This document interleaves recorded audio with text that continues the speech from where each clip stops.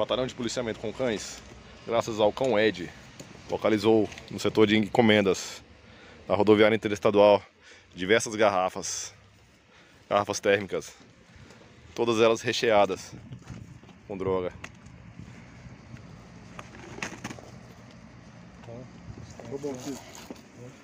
Batalhão de Policiamento com Cães, referência no combate ao tráfico de drogas e de armas.